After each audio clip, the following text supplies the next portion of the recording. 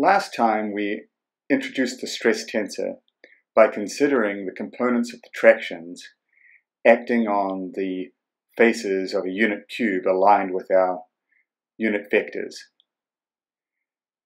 We further imagined that each of these tractions, these normal and shearing tractions acting on each face, were equal and opposite on opposing faces, and so therefore the cube was automatically in equilibrium with all the forces and moments balancing. But in general, the stresses in a continuum would be continuously varying. So we need to come up with a derivation for the equilibrium condition on the stresses in a real non-homogeneous continuum. So to do that, we're going to start by considering this elemental parallelepiped with infinitesimal dimensions dx1, dx2, and dx3. Now you can see on the back faces here are the tractions we defined before. So this is the one face, and normal to that is sigma 1, 1, the normal stress in the, in the x1 direction. And then there are two shearing tractions, sigma 1, 3 and sigma 1, 2. Similarly, on this face, we see sigma 2, 2, sigma 2, 1, and sigma 2, 3. And on this lower face, we see sigma 3, 3, sigma 1, 3, and sigma 2, 3. These are defined just as we did before, although these are actually the negative faces of this parallelepiped. But we're assuming that these stresses are changing so that using a Taylor series expansion, we would see that the stresses on the opposite side would be incremented by a little bit. So for example, sigma 1, 1 on this face would actually be sigma 1, 1 plus del sigma 1, 1 del x1 dx1, etc. So let's just start by demonstrating that.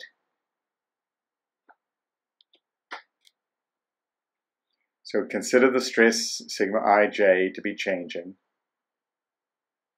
continuously. And hence, from Taylor's theorem,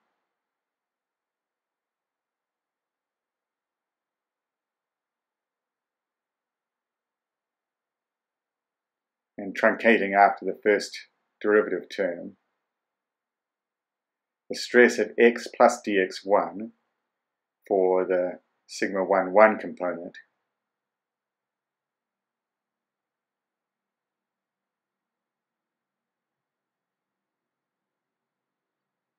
will be sigma 1, 1 at x1 plus dx1 and x2 and x3.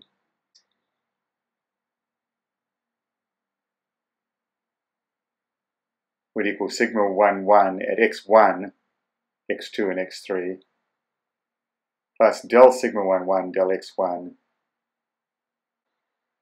times dx1. And we can write a similar expression the other components and faces. And so you see them here on this diagram. By the way, I'm using sigma here just because I got this picture from a book that happens to use sigma as the notation. I prefer capital T, but I'll use sigma to be consistent with the diagram. So now we can do a force balance of these components and we'll start with the x1 direction. So this direction here. And we'll balance all of the forces, the shear forces and the normal forces that are going in the positive or negative x1 direction. So we'd start with this term here, sigma 1 1 plus del sigma 1 1 del x1 dx1 minus this one here, it's on the negative face, sigma 1, 1 times the area of that surface, dx2, dx3, plus the shear tractions that are pointing in the x1 direction, in this case on the x2 face, so sigma 2, 1 plus del sigma 2 1 dx2 times dx2 minus sigma 2 1 times dx3 dx1. And then finally, the shearing tractions on the three face. So sigma 3 1 plus del sigma 3 1 dx3 times dx3 minus sigma 3 1 minus this term here. And then plus a component of the body force in that direction, which we would multiply by the volume, since this is body force per unit mass times mass per unit volume would give us body force per unit volume times volume would be force. Now if we divide this entire expression through by dx1, dx2, dx3, which is just the volume of that elemental parallelepiped,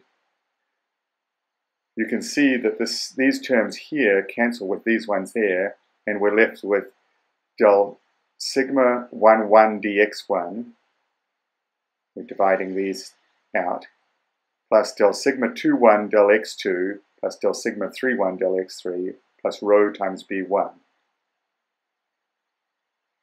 And we can similarly do the same thing in the other two directions and get analogous expressions del sigma 1 2 del x1 plus del sigma 2 2 del x2 plus del sigma 3 2 del x3 plus rho times b2 equals 0. So that's the x2 force balance. And finally in the x3 direction, we'll get del sigma 1 3 del x1 plus del sigma 2 3 del x2 plus del sigma 3 3 del x3 plus the x3 component of the body force. So these are the three force balance equations for a material continuum in equilibrium.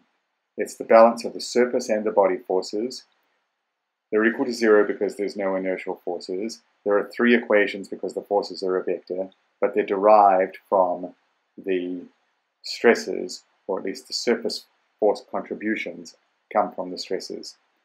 And if we just look at these equations, you'll see that in each case, we're getting the component of traction in the, in the one or two or three direction. Remember, it's the second index of the stress that refers to the component. The first index is the face. So then we're summing up the contributions of those uh, tractions from the first face, the second face, and the third face. So this is the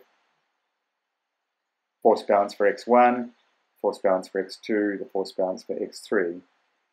And therefore, in general, we can write these equilibrium equations for a continuum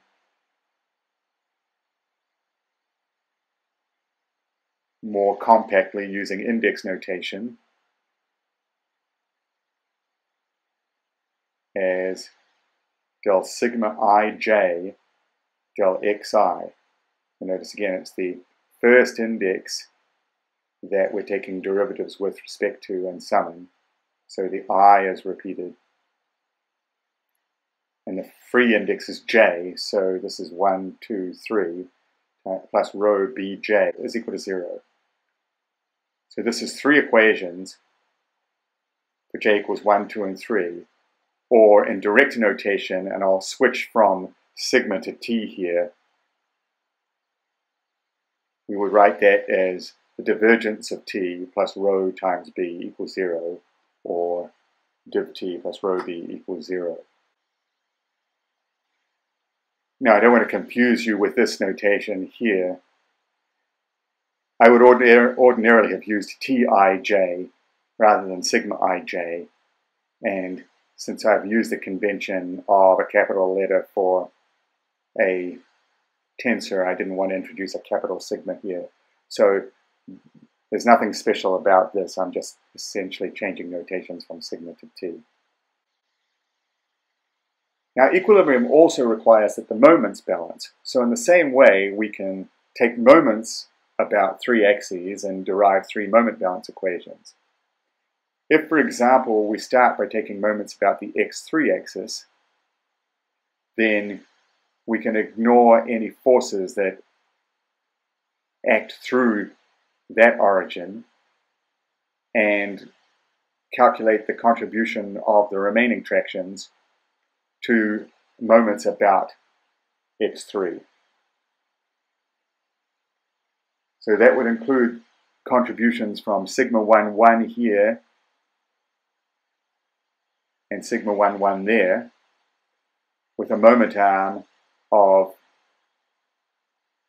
dx2 divided by 2. So therefore, we get sigma 1, 1 plus del sigma 1, 1 dx1 times dx1, so this force here, times this area, dx2, dx3, times this moment arm, dx2 divided by 2, plus, this positive moments in a right-handed sense about x3, sigma 1, 1 times this area, dx2, dx3, times the moment arm, this moment arm here, which is dx2 upon 2. Next we'll get contributions from the shear stresses acting on this face, which will be sigma 1, 2 plus del sigma 1, 2 dx1 times dx1 times the area of the face dx2, dx3 times this moment arm, which is dx1, minus sigma 2, 1 plus del sigma 2, 1 del x2 dx2, this traction here, times this surface area dx1, dx3 times the moment arm dx2 plus sigma 2, 2 contribution of this and this. So this traction here is sigma 2, 2 plus del sigma 2, 2 del x2 times dx2 times this area, dx1, dx3, times the moment arm, this distance here, which is dx1 over 2, minus the moment due to sigma 2, 2 here, which is sigma 2, 2 times dx1 dx3, which is the area, times the moment arm dx1 divided over 2. And so on with the other components. This one here, sigma 3, 2 plus del sigma 3, 2 dx3 and times dx3 and sigma 2, 3.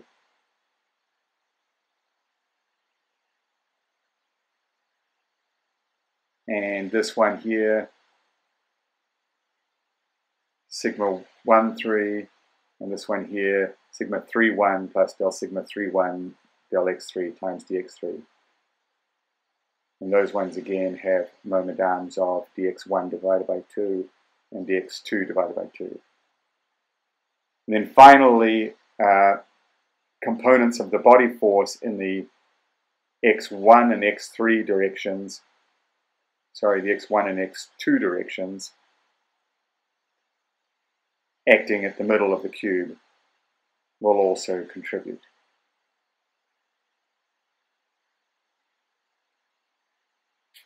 So there's the big ugly expression we get for the moment balance. Now we'll divide through by dx1, dx2, dx3 and take the limit as dx1 tends to 0, dx2 tends to 0, and dx3 tends to 0. And what that does is get rid of just about everything except sigma 1, 2 and sigma 2, 1. So it leaves us with sigma 1, 2 minus sigma 2, 1 equals 0, or sigma 1, 2 equals sigma 2, 1. And similarly, if we take moments about the x2 and x1 axes, these will lead to sigma 1, 3 equals sigma 3, 1, and sigma 2, 3 equals sigma 3, 2, or in general, sigma ij equals sigma ji. In other words, the stress tensor is symmetric for a material continuum in equilibrium. We'll later show that this is true even when the body isn't in equilibrium.